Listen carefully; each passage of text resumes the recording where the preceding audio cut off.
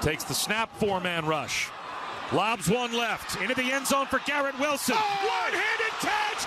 Incredible! Did he get two feet down? Oh! He did not! Out of the back of the end zone. They say incomplete. Two officials getting together.